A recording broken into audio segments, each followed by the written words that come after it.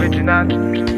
Yeah. Of the bad man, mash up the place. And a bad man, mash up the place. Original. Bad man, of the bad man, mash up the place. And a bad man, mash up the place. She said no, no, no, no, no, no, no, no. The place of the bad man, mash up the place. And a bad man, mash up the place. She said yeah, of the bad man, mash up the place. And a bad man, mash up the place. Original bad The man. place of the bad man, mash up the place. And a bad man, mash up the place. Body now. decoration starting from the end. This is yeah, they've got a gorgeous entrance. What she means she's not sure you can do it. Can definitely do it all, but the carpet will be long. So this is the parking. Wow, okay. So we'll not do it from here. We'll do the walkway from just here. And it's good that we're taking video so we can look back at everything. Good morning guys. So I've just finished my meeting for the day from my 9 to 5. Um so it's taken a lot. Like I've put in mad hours. Like I'm so hands-on. My dad's like, why aren't you delegating? Why isn't your manager doing this? I'm so hands-on because I have a standard that I want this business to be at and I know nobody's gonna work harder for my business than I am. Um but yeah this business needs to be making money. And i have good news on that front. So yesterday i told you guys that we were going for a meeting on the biggest schools in ibadan. Um yeah we booked three days. We booked our 360 camera for three days at their um, graduation ceremony. It's definitely the biggest booking we've done so far. I'm so happy. Um, and we engaged with them about providing the decor for the um, graduation for the three well I'm, I'm only pitching for two days to be honest i think it'll be too much work to try and do three days so if we get that that will literally be the biggest like that would be groundbreaking because i've set myself goals and targets for like my first few months and just that one deal would like surpass the target I set for like all the deals for the month. Um, so I'm so happy, even if we don't get it, just that like these doors are and opportunities are presenting themselves these doors are opening. And how this meeting actually came about was when we took the 360 to my dad's um, event center last week. And I almost didn't want to go because I'd been working so hard that week. I was tired I was drained and I was just like I don't want to start carrying this machine about. I don't want to move the team to a new location. We might not get any customers.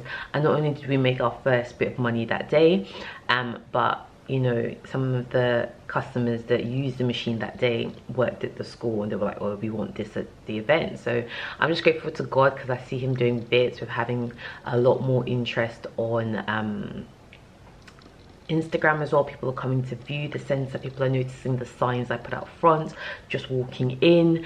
And we booked the second booking as well, actually. So we've got a private birthday party tomorrow. I think I told you guys about it, but they hadn't paid. They paid yesterday. Just sitting here, seeing these things happening after just last week, just feeling so dejected and just like really shitting myself that I had made the biggest cock up of my life. Now I feel like I've made a great decision. I'm gonna say the best decision of my life Yeah, A great decision, but there's so much more hard work that's gonna need to go into this. You know, we're still building, still trying to create a reputation for ourselves.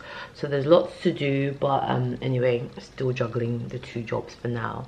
Um, yeah, like it's going thank you guys so much for all the love and support and the encouragement on my videos recently i've seen it and i'm just hoping and praying that this risk you know all works out for the best. But so far i'm feeling way more confident. Um so i'm going to the site soon. We've got to finish our proposal for the school's decorations. We're preparing a proposal for them. I'm sending that to them today.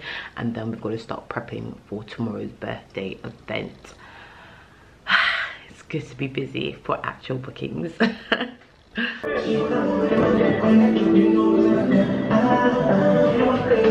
So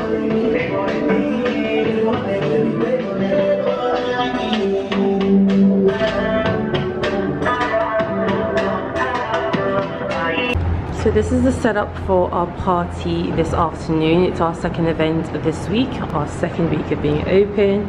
I'm very happy. I try and go above and beyond for each party. So um, this is kind of what they asked for, but we're giving them a separate setup. It's a 30 person kind of dinner. We're giving them a separate setup out here. So if they want to do like a bit of a photo shoot. And please help me put it exactly where it needs to be before we make it too heavy. This needs to be literally here. So we move the post literally there, so that's where it needs to be. So we're giving them a backdrop so they can take pictures, and this is just gifted for free. And I've also thrown in the champagne flutes as well. Careful, are you okay? Oh, sorry. Uh, help me push it back. You you will not have to go to the back because of Oh, okay, branches. Okay, no problem. Okay, no problem. So, yep, that's what we've been doing. They're coming in about two hours, and then we also, you know, using this opportunity for advertising everything else that we do.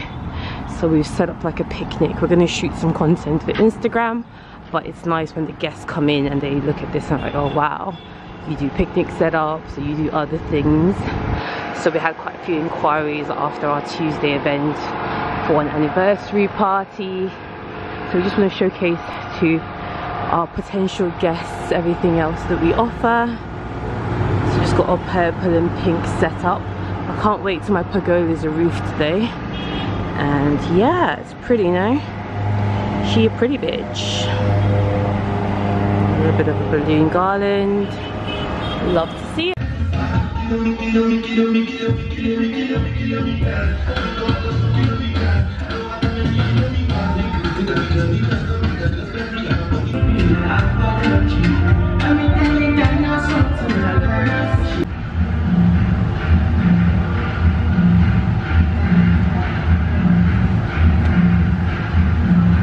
Hello, my darling. Can you take a picture of me?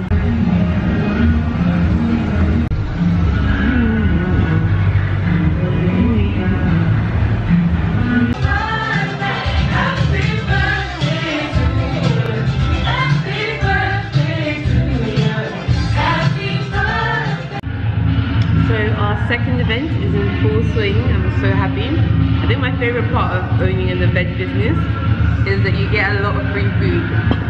Like your clients, like on Tuesday as well, they gave us food, Friday food. Mm. I'm all about that party, right? So grateful. Business.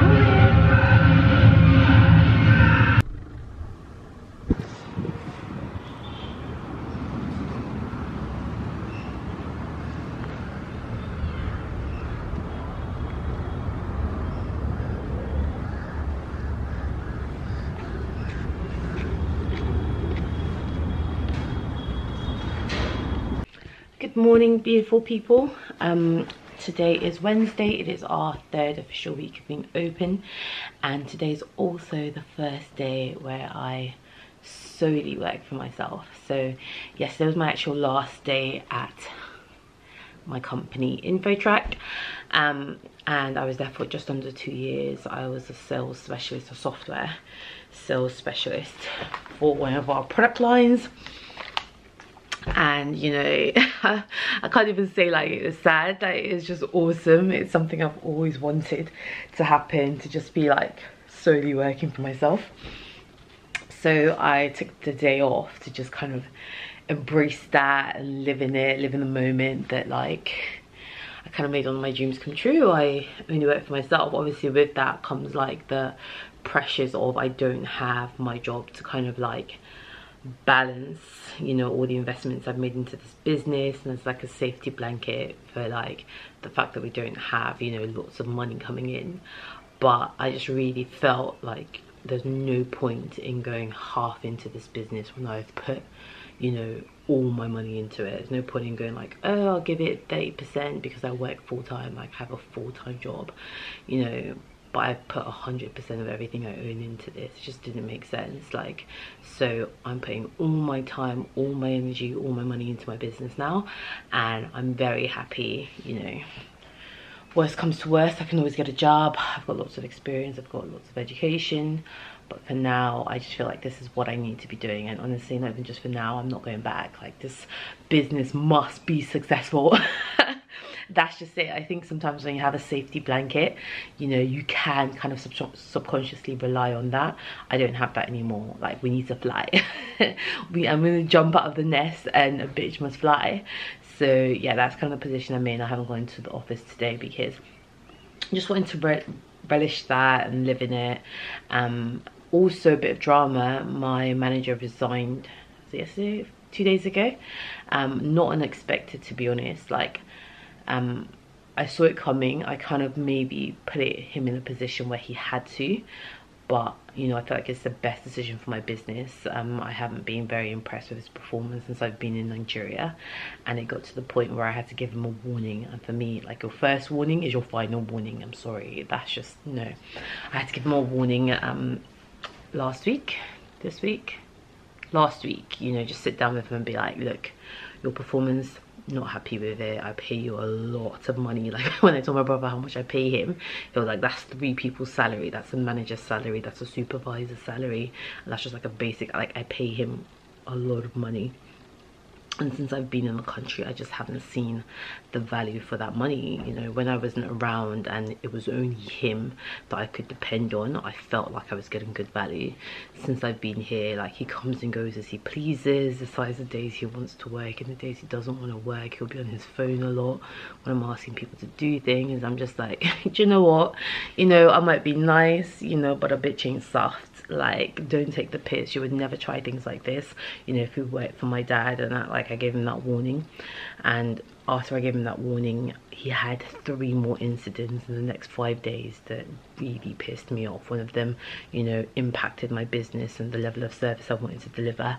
So i just sat down and I'm like look I'm sorry, you can't manage my property anymore. And the, the other one was a security breach. He left my storerooms unlocked for a whole weekend. He got to lock them up. You know, my security guard's calling me saying, like, I just came back, the doors are all open. Luckily, nothing's been taken. The security latches aren't broken, so he thinks the manager must have just forgotten to lock it and like just hearing the doors were open the panic that struck me and i'm just like oh, oh i know you ain't gonna put at risk everything I, I have worked for oh my money you're not gonna put that at risk you know? And that was just like for me that was the final straw. I was just like look you're not ready for the responsibility i've given you. You can't be my manager. I will manage you know the locking up and opening of the store and things like that. Um and i offered him like i wanted to fire him. I've been wanting to fire him actually like for a few weeks i'm never gonna lie. But i just kind of had that thought in my mind like we started this together. He was like the rock that i depended on when i was in the uk so i did want to kind of show him some leniency and not fire him straight away even though he'd done several breaches after the warning i gave him. So i just said okay look you can't be my manager that's for sure.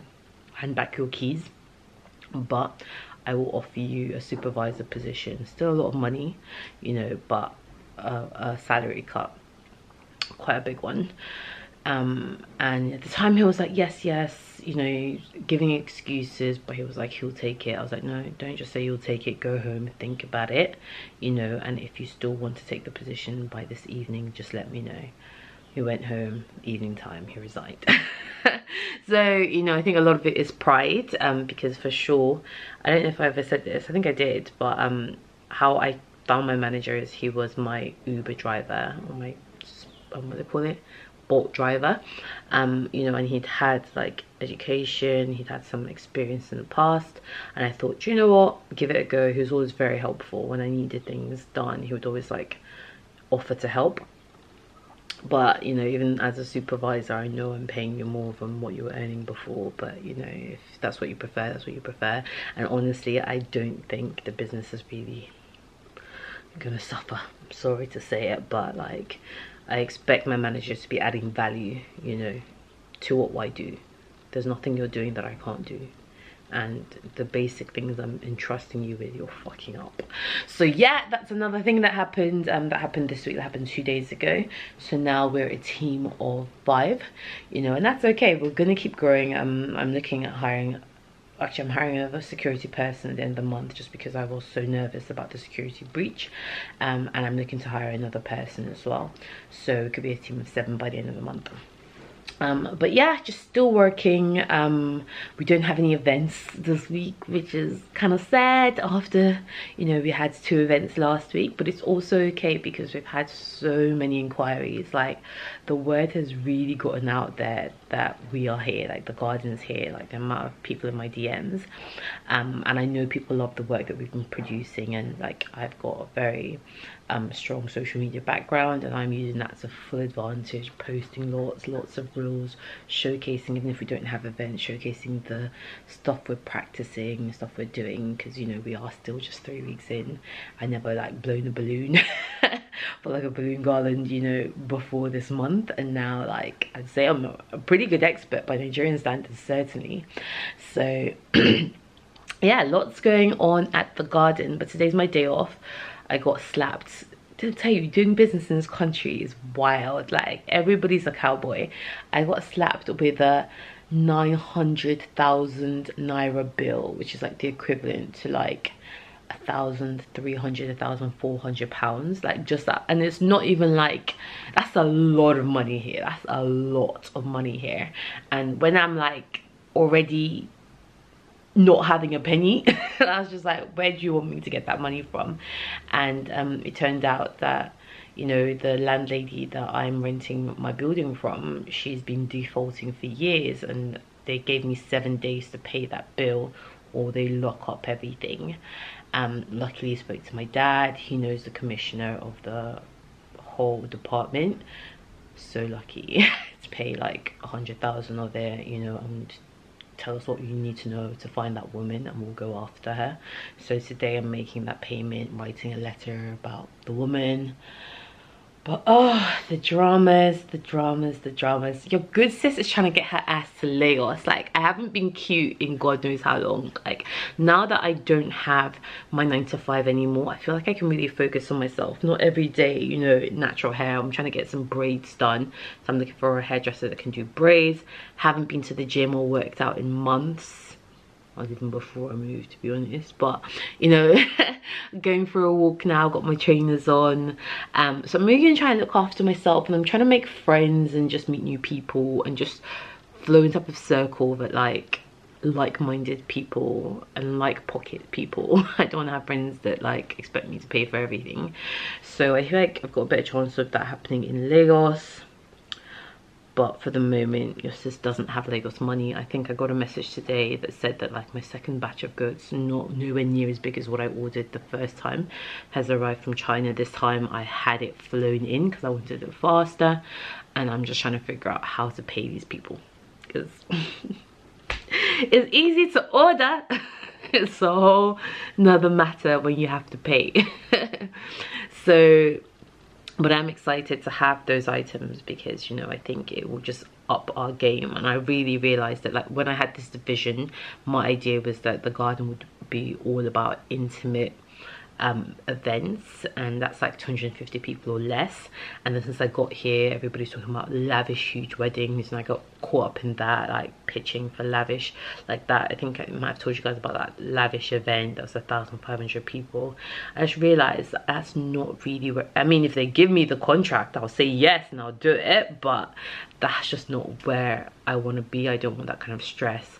And I feel like we've got a better niche in the more intimate gatherings that's kind of what we've prepared ourselves for and that's where i want to be. So anyway i've been rambling on and on. I feel like this is a whole vlog all by its damn self. I think i will just make it a like an update vlog. But yeah i'm going to my dad's place now to get that letter letter written and pay the bill. Just so annoying like i hate getting unexpected bills i just feel like they just keep coming. They just bloody keep coming. Why okay now i'm gonna go for a walk. I'm thinking to maybe surprise the girls they're working today. Um, they're creating some looks. I sent them images of things i wanted them to try and recreate for me. I'm thinking to go and surprise them not because i'm checking up on them because like i know i've got two hardworking girls on my team you know i know they're gonna work hard. Um, but because I want to photograph their work so they haven't got very good cameras on their phones. I just think there's no point in them working all day creating the pieces that I asked for which are going to look really nice and then not getting evidence of it something to post on Instagram. So if my dad's car is available I'll just do a quick stop by. But also yesterday we had our first photo shoot at the garden which is something I thought about like niching into before. Hadn't done any promotion work at all for it so it was really nice to get a DM saying hi we'd like to use your location. Like literally within two days like they messaged me they came to view the place the next day the day after that they did the photo shoot. It was so easy. Um, so yeah the place is open and available for photo shoots. Um, so yeah that was really nice to get a surprise booking and you know multiple streams of income but really multiple avenues of income you know. So we will eventually open the lounge. We've got our decoration. We've got the venue hire. We've got the decoration rental. We've also got the photo shoots um, aspect as well. So there's a lot of opportunity with this business and I'm here for it. Alright guys, catch you in a bit. Original. Bad man,